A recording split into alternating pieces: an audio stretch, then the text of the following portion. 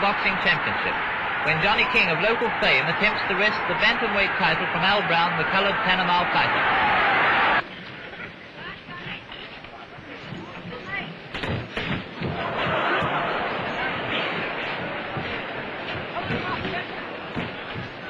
King's down for the first time in the second round.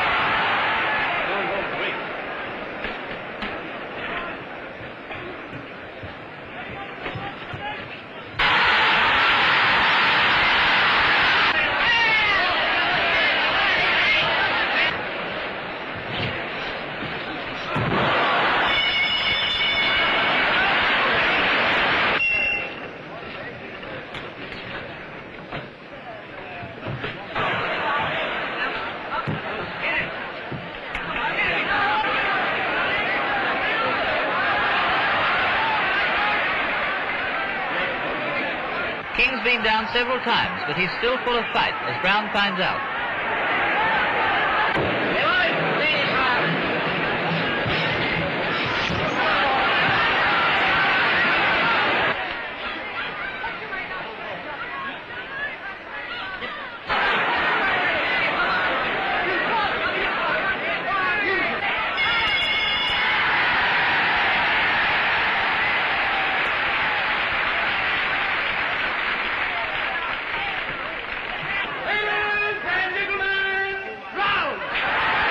The verdict is Brown's, but King has never fought so well or worthily of Lancashire.